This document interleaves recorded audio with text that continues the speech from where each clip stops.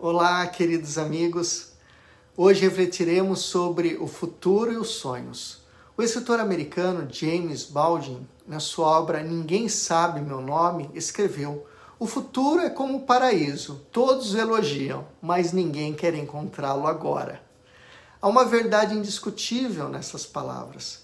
Falamos muito de paraíso, queremos viver já aqui na Terra um paraíso, um mundo mais justo e bom Esperamos um ano melhor que o anterior, mas no final das contas, continuamos plantados no hoje, no nosso mundinho cotidiano, cheio de preocupações, presos em hábitos, ficamos acomodados no dia a dia e fazemos pouco para mudar a nossa realidade.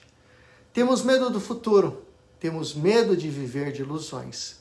É perigoso eliminar os nossos desejos, deixar de lado os nossos projetos, viver sem esperança, mergulhados num realismo pesado, feito apenas de cálculos e de vantagens imediatas, com medo da desilusão.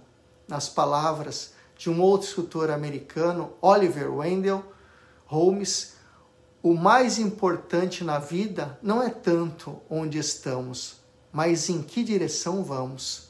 Aonde você quer chegar? Professor Fernando Tadeu, para a Rede Vida. A boa notícia faz bem todo dia. Tchau, tchau!